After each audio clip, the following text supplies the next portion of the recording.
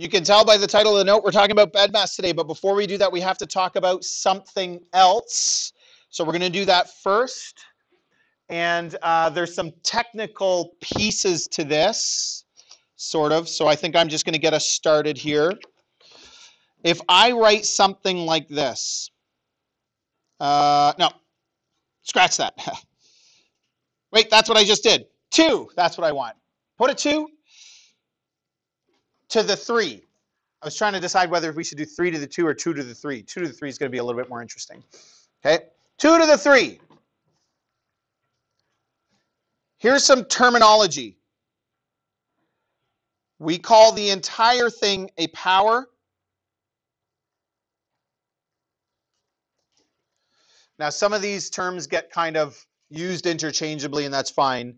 But technically speaking, we call the entire thing a power. What's the 3 called? It's called an exponent. So when I say what's the exponent, I'm asking for 3. The whole thing we call a power. And what is the 2 called?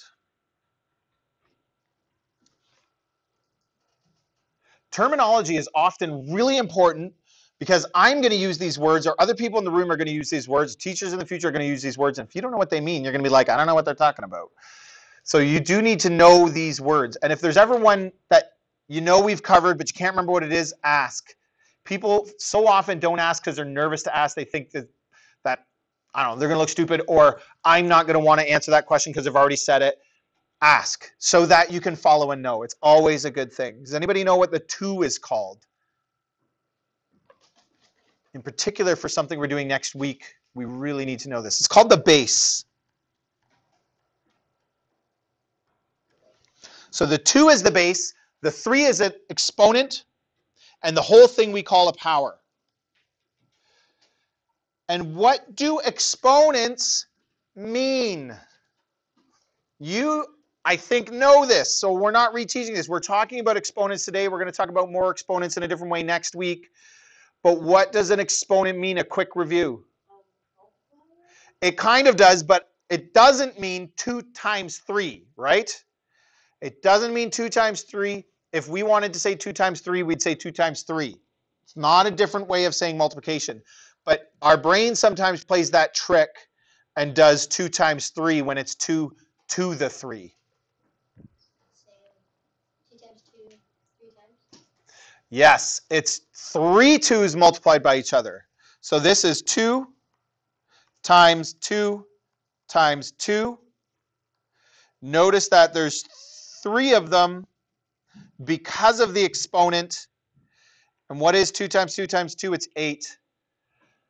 2 times 3 is 6.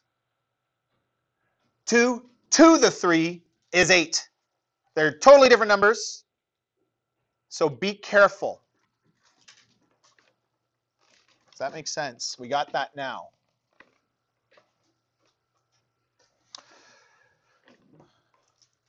Any questions? Because exponents are in BEDMAS, right? So that's why we need to make sure that we're on the game, on the ball here. But there's something even more important that I want to talk to you about. Just write down this first part. Don't write that bottom part down yet.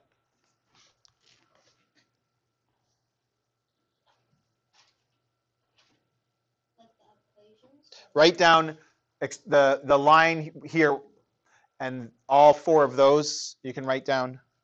Don't write down the summary.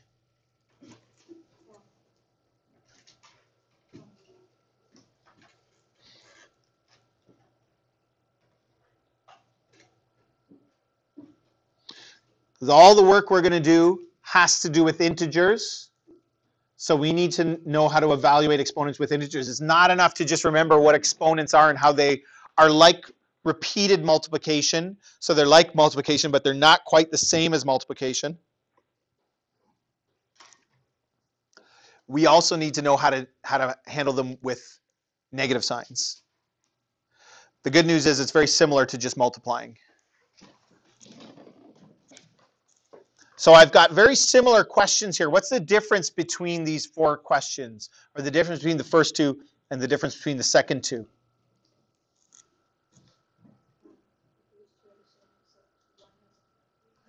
Right, exactly. One of them has brackets and one of them doesn't.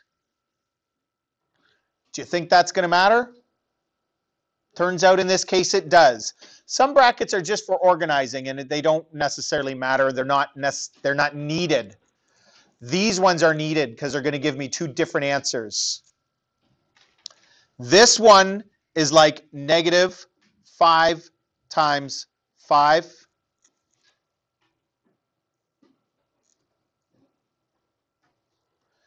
This one is negative 5 times negative 5. Do you see the difference?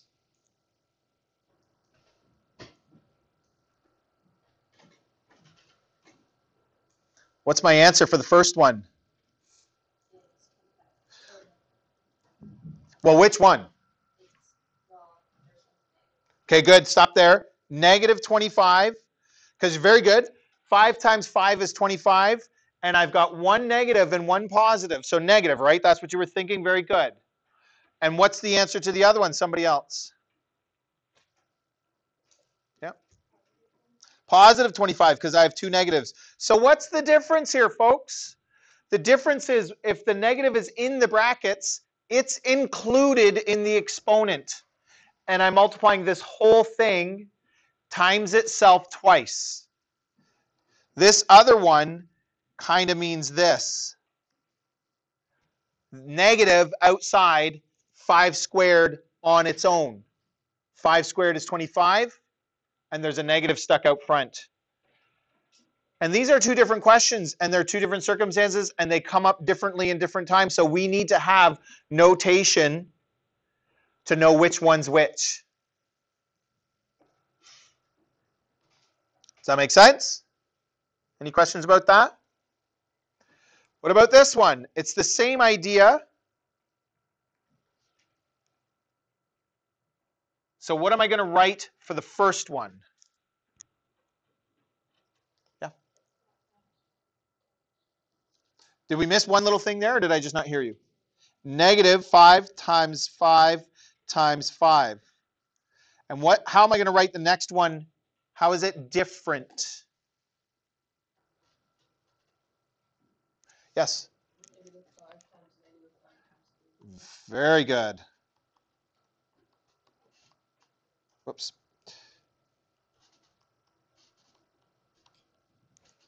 Now, does anybody know what 5 times 5 times 5 is? Nice. And this first one has one negative, right? So my result will be negative 125. And 5 times 5 times 5 again, so it's 125. I've got three negatives, so my result is going to be negative. So, hmm, very tricky. What, what's the rule that we can develop here to know when the result of an exponent is going to be negative versus when the result of an exponent is going to be positive. How can we figure this out? Does anybody, you don't have to get the whole thing, you don't have to get the right answer, just does anybody want to share any of their thinking on this? Maybe like when the amount of like a signs, I guess, is like even or odd. And how will I know that?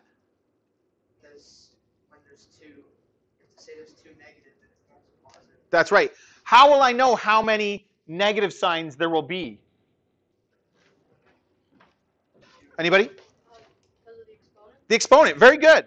So well done. The exponent will tell us if the exponent is even, I'll have an even number of negatives and they'll cancel and be positive. If it's in brackets. If the exponent is odd, an odd number like 3, 5, 7, don't worry, I'm not going to ask you to do 5 to the 7 without your calculator. that would be hard. Um, if it's in brackets and the exponent's odd, I'm going to have an odd number of negatives, so the result will be negative. And that's what this little blurb says right here. So you can write that down. If the base of your exponent is not in brackets, the result is always negative. Right? We saw that in both cases. negative 5 squared and negative 5 cubed, we say cubed when we say to, to the 3, both ended up being negative. Whereas negative 5 all squared or negative 5 all cubed didn't work out that way.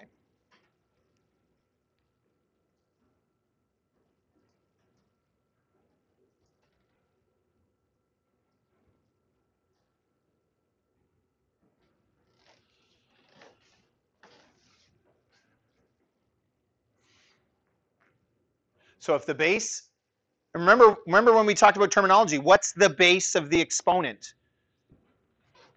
I'm gonna, yeah, the big number, that's right. I'm gonna let you finish writing this because I want you to listen to this next part.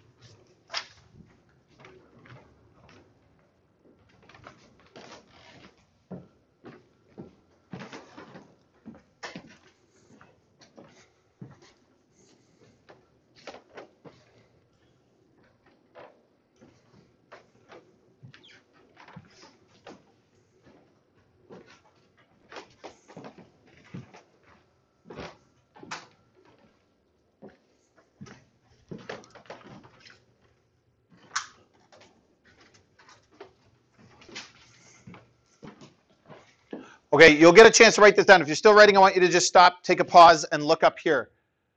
We're going to go through these one at a time, starting with this first one over here. This is a bit of a trick question, so it's not about getting the answer right or wrong.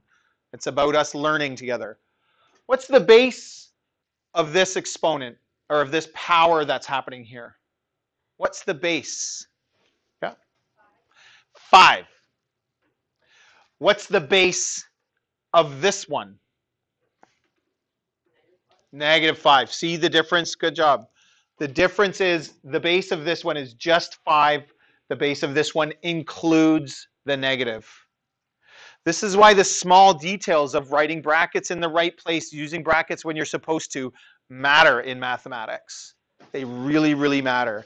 And developing good habits around these things really, really help, which is why I'm going to continue to push you a little bit to sort of do things looking the right way, showing your work properly. Trust me, it'll make your life easy in the long run. All right, you could try all four of those if you want.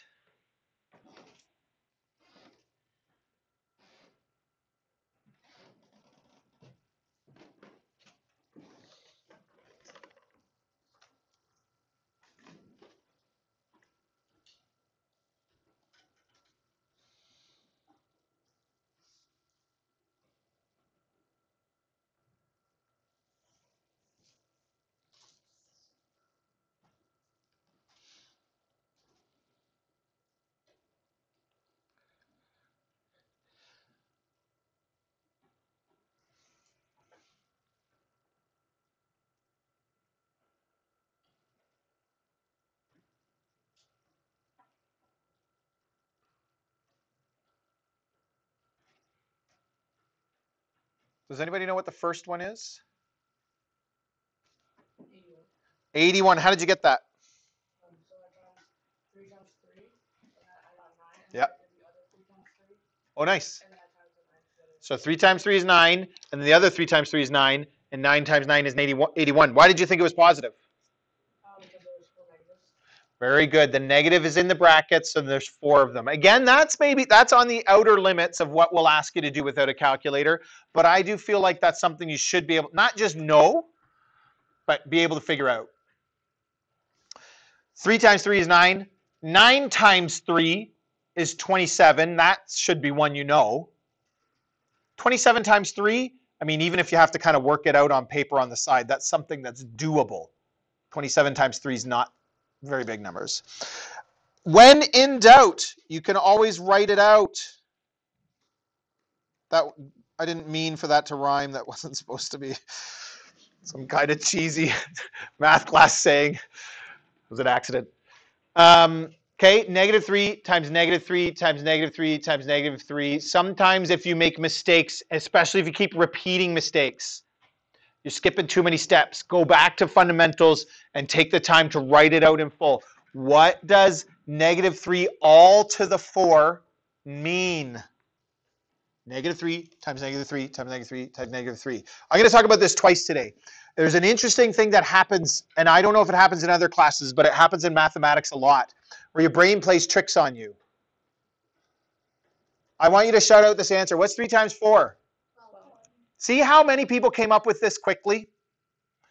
When you see a 3 and a 4, and you think to yourself, well, exponents are like multiplication, your brain automatically starts thinking 12, which is wrong. We already established it's 81. Your brain automatically starts thinking it's 12. And some of us will make that mistake sometimes and not other times. And it's just your brain playing tricks on you. Because 3 times 4 is so easy. I just want to write it down. You know? So it, you got to stop and think, wait a minute, what does an exponent mean? Okay, let's get through the rest of these quickly. Negative 8 squared? Negative 64. Very good. I'm going to I'm going to put that down here. And again, it's negative 8 times 8. 8 times 8 is 64. 1 negative is 64. Negative 4 cubed. That hand up? No. Negative 4 cubed. So very good, negative 64. Again, that's a bit of a harder one, but 4 times 4 is 16. Times 4 again is 64. Not in brackets, so just one negative sign. And negative 7. Okay, this one's not one I don't think that you could do. I mean, you could on paper, but this is a trickier one. Does anybody know what 7 cubed is? Very nice. And what, what will it, what will the sign be? So negative 343. That one's, I wouldn't put that on a test with no calculator. But with a calculator, and we'll do that when I let you get use your calculators later, we'll talk about how you do exponents on your calculators if you've never done it before. You want to have a calculator that can do them easily. Any questions? Everybody got that? That was just the introduction to our lesson on BEDMAS, although it's not it's not super long, so don't worry too much. But now we're actually going to talk about BEDMAS today. But you already know about BEDMAS. So again, this is, I hope, still just review.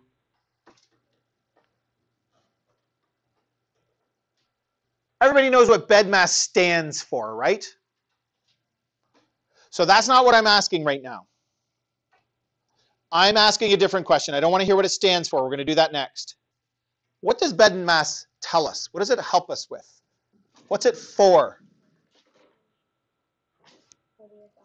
It's the order of operations. In other words, the order in which we do operations if there's more than one in a question. Very good. So it's the order of operations. Okay, and what is that order? What's the B? What's the E? Somebody else? Exponents, that's what we just talked about. Very nice. No surprise that it's in there. Uh, what's the M? Multiplication.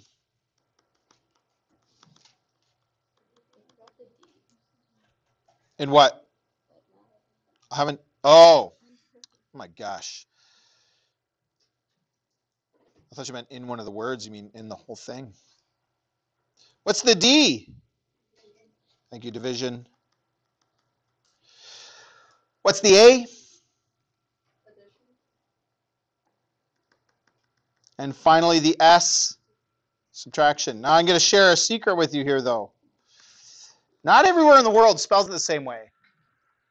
And the reason why I forgot the D was not because I sometimes spell it a different way, but you could spell it BEMDAS, and some people do spell it uh, PEMDAS with the M first.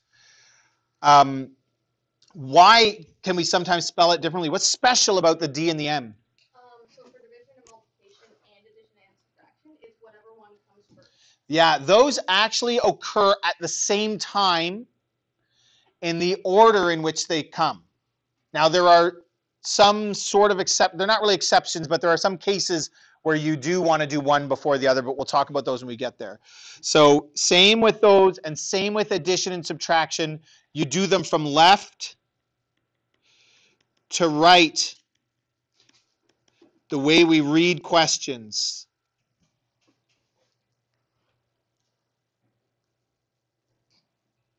BEDMAS. When do we use BEDMAS is the next question.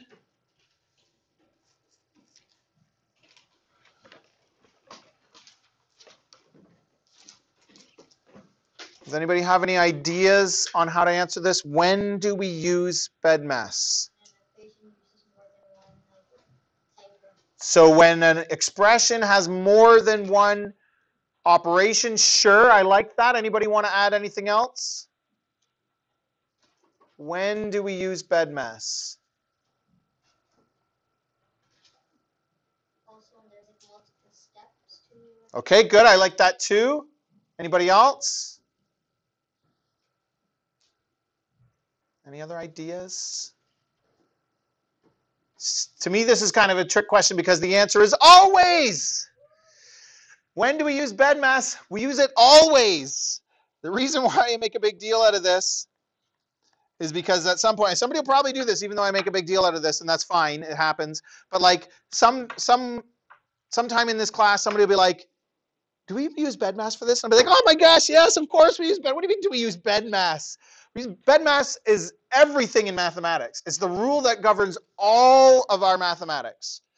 Sometimes you may not be aware that we're using it but we're using it. Always always always in under all circumstances do the BEDMAS rules apply? You're correct in saying if there's not more than one thing to do you don't need to worry about BEDMAS right? Like uh, i get that. But do you use BEDMAS for this question? Yes. Always using BEDMAS for everything okay? There's never a time where BEDMAS doesn't apply. Okay.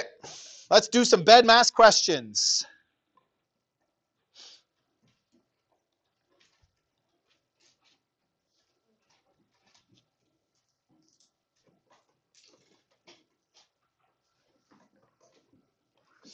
Who knows what 16 minus 5 is?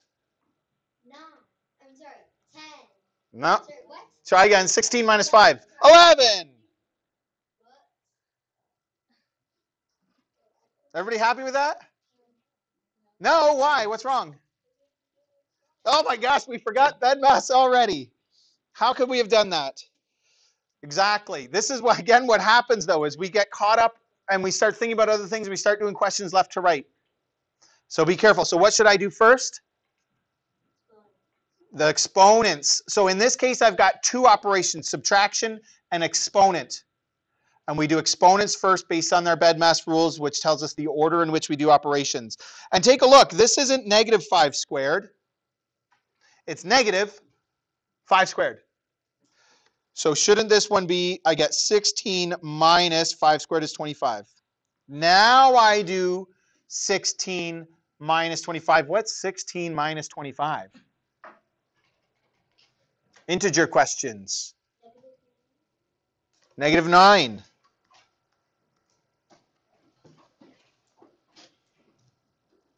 If I had done it the other way, which would be wrong, I guess I would have got 11 squared, which is 121. Not even close. So, like, order of operations matters. Okay, you're going to get totally different numbers. What about the next one? How many operations does the next one have? Sometimes it's not always clear that to count them, but in this case, I think we can.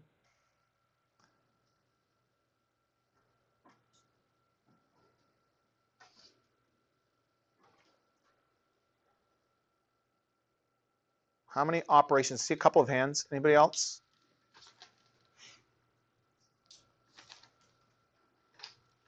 What do you think?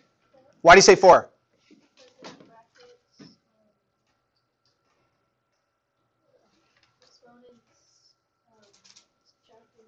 Yeah, good. Now the brackets is a bit of a different one because what it's really telling us to do is just do whatever's inside the brackets first. So it in and of itself isn't exactly an operation. And if you had said three, that would have been perfectly fine as well. So uh, you could look at this as three, or you could look at this as four. But it does say to do brackets first. So what happens inside the brackets? Three minus five? Very nice. Negative two. And look, folks, that has to remain in brackets. Why? Yeah, why else? Oh, no. Didn't we just talk about how an exponent, a negative sign being in brackets or outside brackets matters? So if you drop the brackets, that might be changing the question. In some cases it will, in some cases it won't.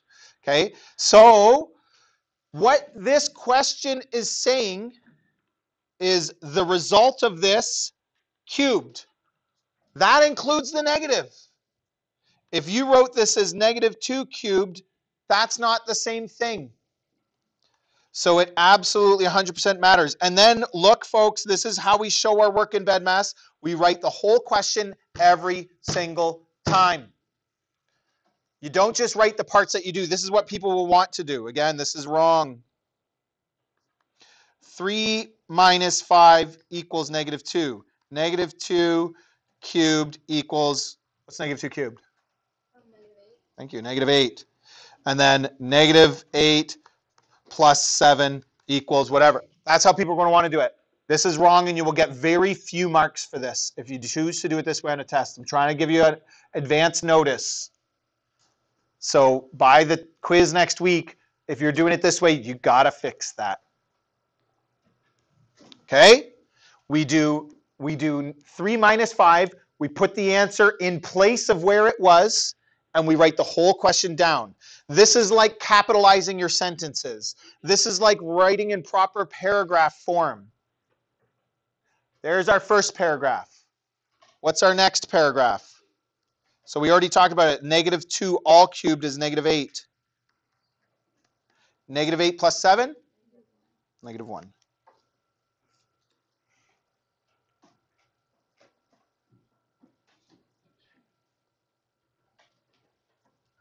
Whoa, that one got bigger all of a sudden.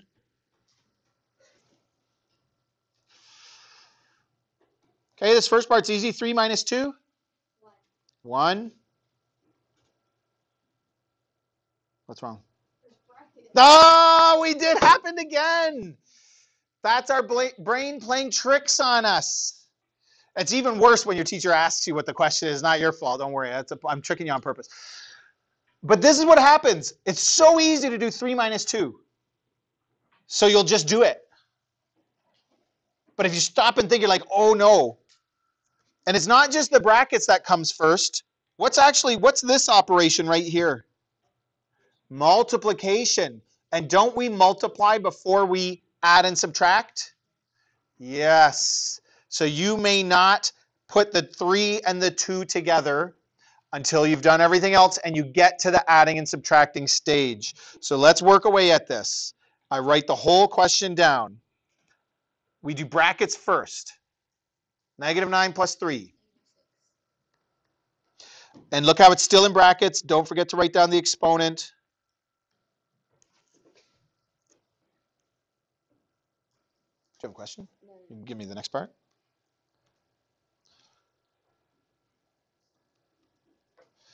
What am I going to do next? I shouldn't be writing this out yet. Ah, this is a good one. See, we're like, well, brackets, because brackets come first. These are different brackets. These are what I call organizational brackets. They're just for organizing, showing that this is multiplying and showing that the negative is inside with the exponent. There are no longer brackets that have something inside to do. So brackets are finished. We move on to the next. What's the next letter in BEDMAS? Exponents. Is there an exponent? Yep. So we do that next. So what's negative 6 all squared? 36. Do you think it's negative or positive though? If it's if the negative is inside the brackets, Positive, very good, thank you. And remember, we think about it in two parts, so it's fine to get the first part and then take a moment and think about the next part. And always like second guess yourself. And I'm going to keep that in brackets. What was the multiplication? What was the uh, sign here? It was multiplication. So it has to be the same here. Some people might do this. Oh, well, it's positive 36. Okay, but you just changed it from multiply to add. That doesn't happen in mathematics. Okay? It was multiplication before, it's still multiplication.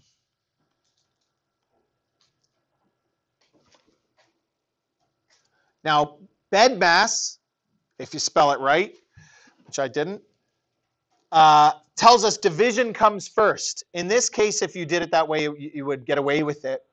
But um, remember what we said we usually do, and it's safer to do division and multiplication in the order they come left to right in the question. And again, this is a little bit a bigger number, but 2 times 36, does anybody know what that is? 72, nice. So minus 72, because I had one negative and one positive. And this is again, oh, remember I said this yesterday. Is this a minus sign or a negative sign? It's both, because this is negative 2 times 36, which is negative 72, so minus 72. I want to show you something. Don't write this down. What if this was uh, 3 minus 2 times negative 36? Then it would be 3, negative 2 times negative 36 is positive 72. It would be plus 72. The sign becomes the operation. Very tricky until you really get comfortable with that. Okay, moving on. And then divided by 3. Same deal. Negative 72 divided by 3. Anybody have that one? 24, nice. And a negative and a positive is a negative. 3 minus 24 is going to be negative 21.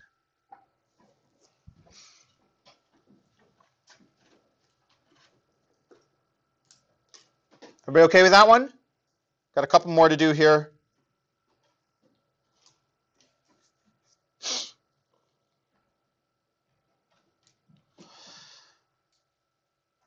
So what's different about this one is it's got a top and a bottom.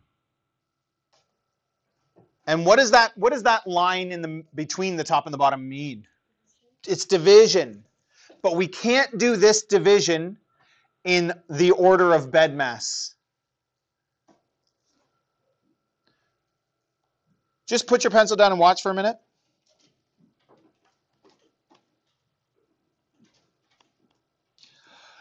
This is subtraction. This is subtraction. I'm supposed to divide before I subtract. How can I divide 3 minus 2 by 4 minus 3? Like you can't do that step yet. You have to evaluate the whole top as if it's got brackets around it and evaluate the whole bottom as if it has brackets. And then do the division as your last step. So this is necessary. So it's kind of like there are invisible brackets around the whole top and the whole bottom. So we, and we can do one step in the top and one step in the bottom together. The other thing that's curious about this is it has square brackets. Why do you think it has square brackets? Yeah, often if we have round brackets, we'll either use bigger round brackets and just make it clear, or we can use square brackets just so we can match up where the brackets start and finish. It Doesn't come up that often, but it comes up once in a while. Okay, so 5 minus 3. Brackets first. Very good. See? Tricked you all again. Maybe not all of you, but some of you. Five. This is multiplication. I got to do brackets first. 4 minus 5 is negative 1. So I'm doing that on the top. What will we do in the bottom? I've got a double sign. So I'm going to change it to addition. That's right. It's going to be 6 plus 8. And notice how these, these round brackets around the negative 8 are just there because of the double sign.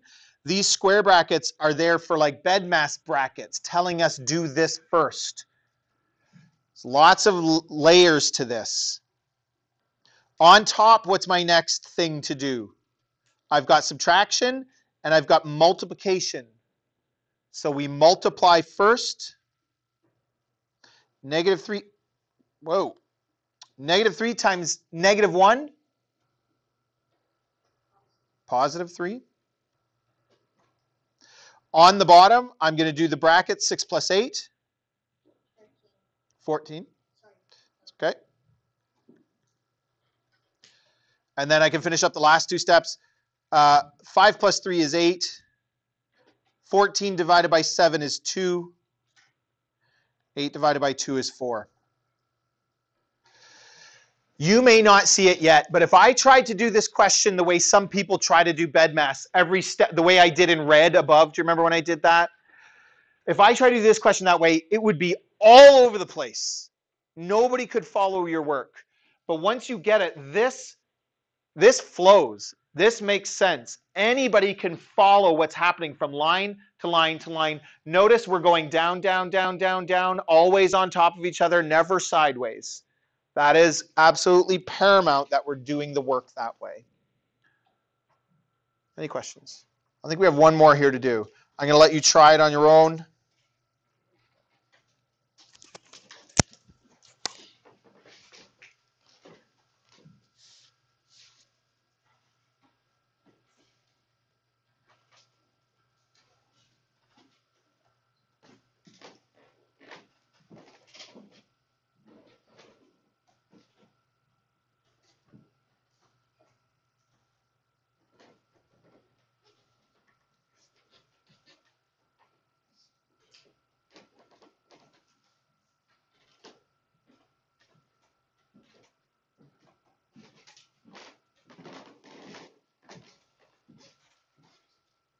Case anybody's wondering, 2 plus 3 is 5. I can help you out with that part. We only have two minutes left, uh, but I just want to show you something. So look what I did on top. And you don't have to do it this way, but this is brackets, okay? And so I did that first. 1 minus 5 is negative 4. I also did this exponent. And with, some of you might just be fine with this and be like, yep, that's cool. But some people might be like, well, hey, I thought you were only supposed to do like brackets first. But with experience, you start to realize sometimes those parts aren't going to be put together until later. So they can be done like at the same time. Okay? But if you're not sure, do them in separate steps. Okay? And then on the bottom, I did the multiplication. Negative 2 times 8 is negative 16. 2 plus 3. Look at how that 2 plus 3 is calling out your name to turn it into a 5. 3 times negative 4 is minus 12. And then a positive and a negative 8 is minus 8. 15 minus 16 is negative 1. 2 minus 12 is negative 10. Negative 10 minus 8 is negative 18 over negative 1, which is positive 18. Did anybody get that already and got 18? Nicely done.